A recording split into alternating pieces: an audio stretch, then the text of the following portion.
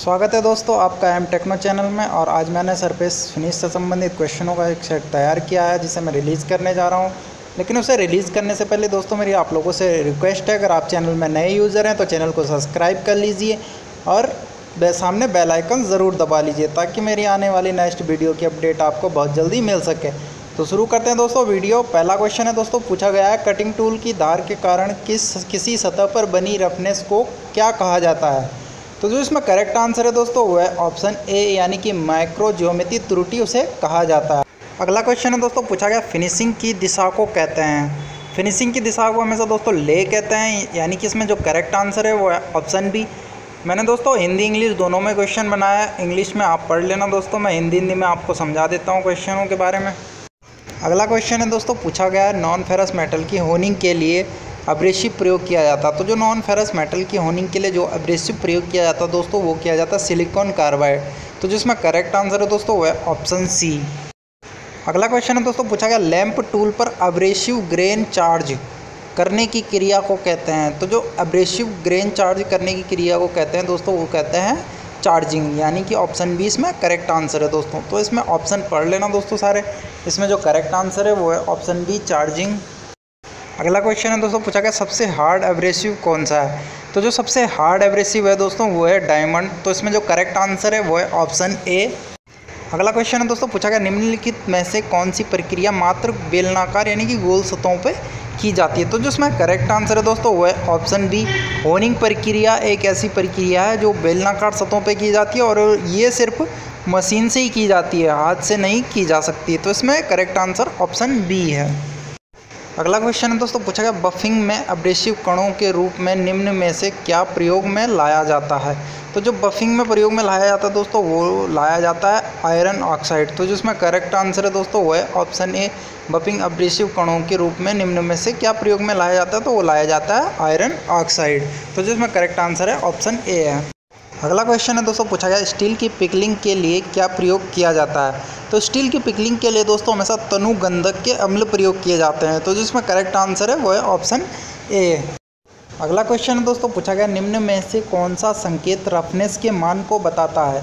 तो जो रफनेस के मान को बताता है दोस्तों, वो बताता है ज़ीरो पॉइंट एट एम यानी कि इसमें जो करेक्ट आंसर है, वो है ऑप्शन सी अगला क्वेश्चन है दोस्तों, पूछा है किसी सतह की सरफेस फिनिश निम्न में से किस गुण को दर्शाती है?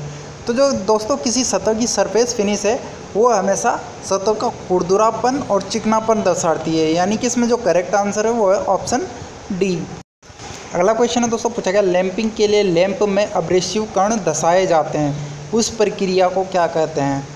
तो जो लैंपिंग में लैंपिंग कण, लैंपिंग में लैंप के अब्रेसिव कण धसाए जाते हैं, उस प्रक्रिया को हमेशा चार्जिंग कहते हैं। तो जिसमें करेक्ट आंसर है दोस्तों, वो है ऑप्शन सी अगला क्वेश्चन है दोस्तों, पूछा गया कोरोजन रोकने के लिए बहुत सी कोटिंग की जाती है।